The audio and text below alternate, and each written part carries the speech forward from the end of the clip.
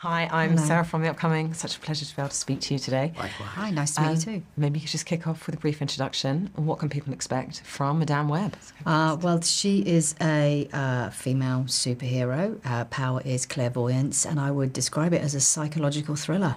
and um, I was really blo- blown away by the film. Um, I guess you know if it's not too controversial to say I'm not so, always so into some of the, the comic book films, and I was just so absorbed by this one.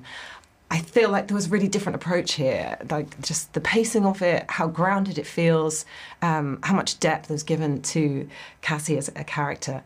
Maybe you could talk a bit about you know what your approach was, and, and if you wanted to bring something different to to this Marvel film.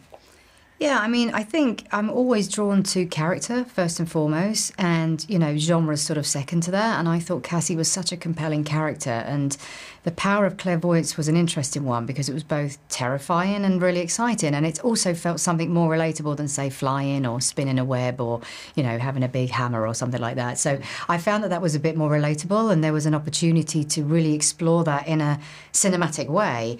And and I think I always like to sort of keep things grounded and juxtapose. You know, if you've got this high stakes sort of like high action thing, how can you then balance that with the grounded nature of it, which I thought would be really fun. And for you, reading that script, coming on board, was that something that struck you that this felt like it had, had a different feeling to it um, than some other uh, sort of comic book films, and particularly coming to your character? Um, you know, what was your approach to Ezekiel?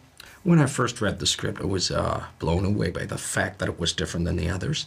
As uh, as Jay said, it was you know it's grounded in reality. Um, it's uh, you can identify to the more easily to the superheroes in this movie because uh, the clairvoyance is great. You know, you feel like in real life you can sometimes you fantasize in seeing things or feeling things or dreaming of some stuff that might happen and all. So uh, you get you know more connected to. Um, to this power as uh, an audience member, I feel. And uh, the fact that it's a psychological uh, thriller, that there's a lot of suspense and uh, and still a lot of actions and heroes, uh, yeah, excited me a lot. And Dakota Johnson, I mean, we all know how talented she is, but I think that just, you know, the real, the combination she has of being able to sort of bring humour and authenticity is just really brought to life in this film. Um, what was it like bringing her on board and, and working with her? Well, I was so lucky to get Dakota. She read the script, and I think, like all of us, there was a sort of a healthy level of intrigue, but skepticism and questions. And, and so we sat down and talked about it quite a bit. And for me, she was perfect. You know, I'd seen it in so many movies, from A Bigger Splash to Suspiria, which I thought she was fantastic in. You know, she that was a thriller, and you know her sort of performance in that I found so compelling. And but she's also very funny. I mean, she's just done SNL, and it's her second time, and she can hold her own. And uh, she's such an impressive actor, and she always wants to find the truth in it.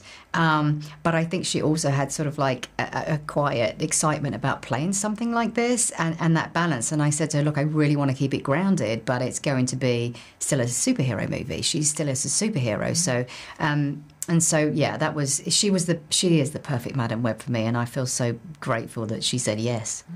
And working alongside her. And I guess obviously um, there's that tension between your characters, but you know, were you sort of keeping that up offset, or you know, how did you kind of build that that dynamic between you? I was really happy to to know that I was going to make a movie with her, and uh, I like her as an actress, and she's such a nice person as well.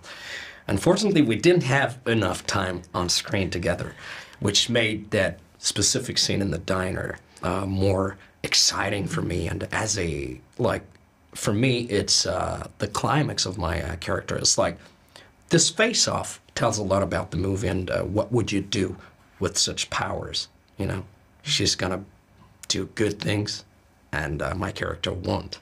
And uh, I loved it. I mean, it was like an acting scene between you know two actors, and uh, we had so much fun this day. Yeah. Yeah, that was a fun scene. Yeah. That's probably one of my favourites because I think it is that. It's where you get to really do character and play with it in that sort of like psychological world. That was the most fun. It's really you two in a diner and us running around with a camera and a diopter. Yeah, But that was, it. so It well was- directed as well and edited. Yeah.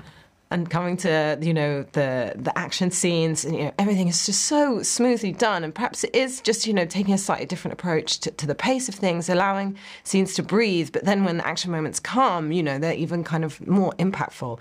Were there any bits that were like really hard to pull off? I was reading that Dakota Johnson actually found out she's a pretty good stunt driver well, she's an incredible stunt. I mean, first of all, with stunts, I look at stunts as story. What's the narrative you're trying to tell? And I think sometimes stunts become so big and the stunt becomes bigger than the narrative. So I think what I tried to do throughout this movie and throughout all of our stunt rehearsals mm-hmm. was what's going on in this moment what's the dynamic between each character what do they each want to get so it was keeping that narrative at the fore and if anything became too stunty or too big you know or sort of like too much about the stunt rather than the narrative or the character, then we just reined it in. So, um, and that was a nervous line really to balance because I want to make sure it's a fun movie with lots of action, but equally, I wanted it to always be driving the story forward you know, and in terms of the driving specifically, you know, Dakota, I asked Dakota if she could drive because obviously she's a paramedic and she was, mm. we knew the opening, one of the opening scenes was going to be her driving an ambulance. And I said, can you drive? And she said, yeah. And I was like, oh, this is probably going to be like when actors say they ride a horse. I see. And they get there and you're like, you can ride the horse here. And they're like, about that. Uh, and, uh, and, uh, and she arrived and she went, yeah, yeah, no, I can drive. And I was like, okay. And she got in the car and literally she did a stunt rehearsal with the stunt drivers and she went driving around and she did a 180 spin and parked it perfectly within the bollards. And I was like, all right. Impressive. She can drive. Yeah, she's she is an excellent driver and did most of the driving. And without her ability to do that, you know, the film wouldn't have been able to be shot in the way that it has because mm. to just see the car pull in and her get out there didn't need to be a stunt cut to get the driver out and get the actor in. So she enabled us to to have that sort of cinematic technique across the board. And for you, did you have to actually practice crawling on any ceilings or not quite there? Of course, I had to. yeah, I trained a lot for I don't know two to three months, uh, four times a week with a personal trainer, with the stuntman, acrobatics, choreographies, uh, wires. It was I mean, a lot of fun and uh, and a good uh, opportunity to to get back in shape, you know. and it was fun. Yeah, mm-hmm. I liked it a lot. I did as much as I could. You did a lot. Actually. I did a lot. I have to say, I have to give, I have to give him modest. kudos. No, absolutely, you did more you did a lot more stunts than the most because you were in there the whole time working with the stunt team yeah. as well. He he literally has been thrown up against the wall. There was yeah yeah there was yeah that, you really were you, were, you remember the wire yeah. and pulled up against you did all that yeah did, I did all, that. Did all that. I mean it's important for me to yeah you know to, to do it you know yeah and the reason I really felt like I connected with it is it's just got this amazing, strong female energy, and you know, not just from the cast, you know, this you know great dynamic between Sydney, Celeste, and Isabela, also with Dakota, but also you know a lot of the themes that are coming out of it about motherhood, about her trying to understand, you know, you know, why did my mum, you know, put me at risk, and understanding her past so that she can find her place, because um, she's sort of you know in her life, you know, not able to kind of fit in in a way with you know other mums, you know, having babies and things like that that. Was that something that was really important to you to bring to the story as well? I don't think it was conscious in a way. I just think, you know, when I got the script and we started working on it, I just wanted to bring those things in. Those are the things that I felt I wanted to draw out of the characters, mm. you know, and I felt that you wanted, the film needed a through line where you were able to say, what is the heartbeat of the movie? And that was really about her in order for her to understand the future, to really learn what happened in her past. And that was all connected to her mother. So it felt like a perfect way to sort of bring that, both the emotion and the narrative together. And obviously, without any spoilers or anything like that, you know, where do you think it's going to go next? If we got something else in the pipeline to follow up the film? Or? If only I had clairvoyance, I'd tell you. and for you, do you know what you're going to be working on next? Oh yeah, I um I just shot a movie about it's a biopic about Charles Aznavour, who is a, an important French singer, uh, very famous, uh, the one who sang, uh, I don't know, she may be the beauty or the queen, you know, oh, ah, bohème. Not yeah, the movie, isn't it? yeah. Right, thank you so much for sharing all that with thank me. You. Cannot wait for everyone else to see Madame Web. Thank you so much. Thank you. Thank you. Thanks so much.